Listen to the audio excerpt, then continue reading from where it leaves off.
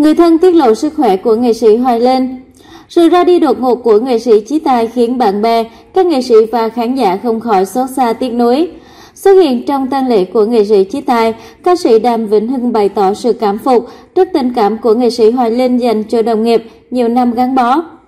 Người hâm mộ cũng không khỏi lo lắng cho tình trạng sức khỏe của nghệ sĩ Hoài Linh khi phải túc trực lo hậu sự cho cố nghệ sĩ Chí Tài suốt những ngày qua.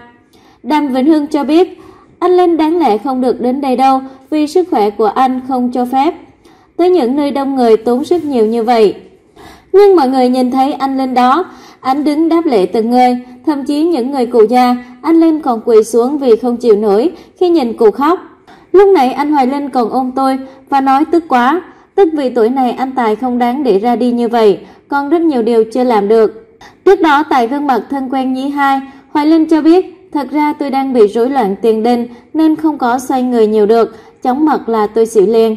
Được biết tình bằng hữu giữa Hoài Linh và Chí Tài xây dựng được hơn 23 năm. Từ hơn 20 năm trước, cặp trùng bài Chí Tài Hoài Linh đã làm mưa làm gió trên khắp các sân khấu lớn nhỏ. Hệ có Hoài Linh là Chí Tài sẽ xuất hiện. Sự ăn ý và những màn tung hứng nhịp nhàng của họ đã tạo nên dấu ấn trong lòng mỗi khán giả. Cặp đôi không chỉ ăn ý trên sân khấu, mà còn là anh em thân thiết ngoài đời. Sự ra đi của Chí Tài đã khiến anh suy sụp nhiều. Hiện tại nhiều đồng nghiệp và mọi người thân lo lắng cho nghệ sĩ Hoài Linh. Bản tin của chúng tôi đến đây đã kết thúc.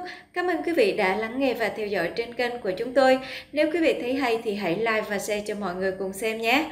Xin chào và hẹn gặp lại.